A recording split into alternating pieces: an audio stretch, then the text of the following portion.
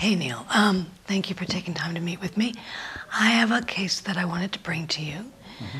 And um, Jamie has a client whose name is Jane Smith, and she wants to go to City College. She wants to major in lab tech. Mm-hmm. And that seemed to make sense. She got accepted in the institution. Um, and now they're asking us to pick up the cost for interpreting services. So um, Jamie doesn't really know how to respond to that request and, um, or how to negotiate it with the college. So ask me for help, and I'm coming to you to advise me on what steps we should take.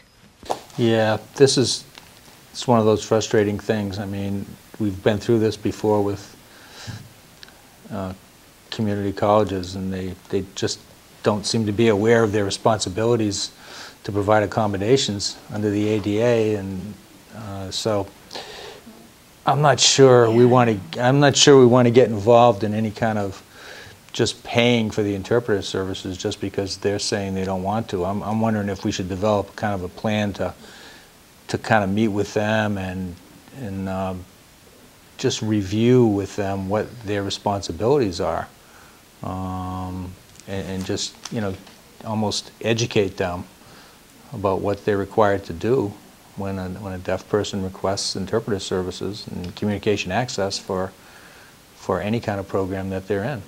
I think we should start with that. I mean, what are your thoughts on that, having a meeting? I agree with you. I think that would be a good first start. I thought maybe we could ask if they've had any experience having deaf students in their college and uh, what came of that. Um, did they take responsibility for that, or who did? Do you think that would be a good opening question? Yeah, maybe start with that. Just get some preliminary information first, and then um, then set up a meeting and just really kind of let them know that what our experience has been with other schools, um, and, and what they've done to fulfill their requirements to pay for these uh, these interpreter costs. They may not even be aware of how to obtain interpreters, um, the whole interpreter referral system. Uh, you know, they just may, may not be aware of it.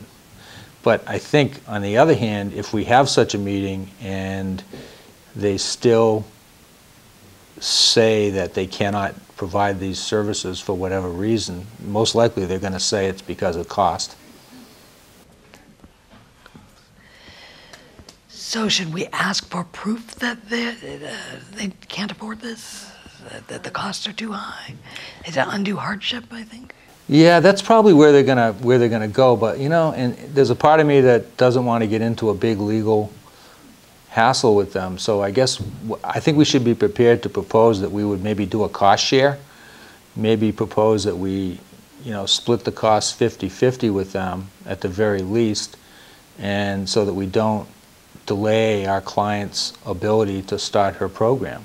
Uh, I wouldn't want to get her all hung up in some legal wrangling with the school. So, so I think we go in and we sort of let them know what their responsibilities are, but have a backup plan or a proposal to do a cost share, and hopefully they'll they'll buy into that.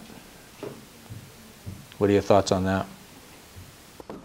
Yeah, yeah, that sounds good. I um, was thinking that maybe I would do a little investigation about, um, you know, PEPNET. Yep. Um, find out if uh, they have information on what other states have done, what the practice has been um, elsewhere mm-hmm. in working with similar colleges, mm-hmm. and trying to get them to provide interpreting, and who is usually um, responsible for the cost? Do they take it on themselves?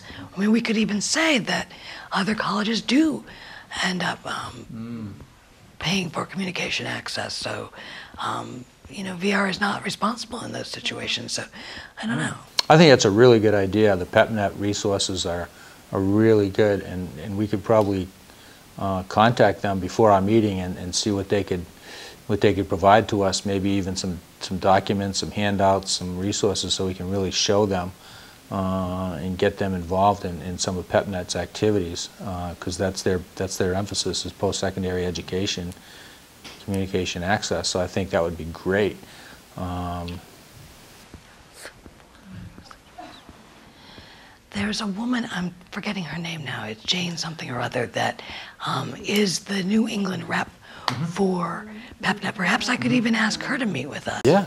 And she can help it to advise the college. Yeah, she's, Because I think that's part of her project. Mm-hmm. Um, I think the grant um, does outreach throughout New England, but I think that um, it, it is, as you said, focused on communication access. yeah, that'd be fine. She's local and, uh, you know, she she would, I'm sure she'd be happy to get involved. But like I say, look, let's have a backup plan. Let's be prepared to, I don't think, let's be prepared to try to pay half without, so we won't cause delay. So, um, in terms of the backup plan, um, we will need to negotiate. You're saying 50-50 is this the starting point, or do we need to check with legal department about how much that might be? Yeah, we we probably should check with our legal department, let them know what we're dealing with here.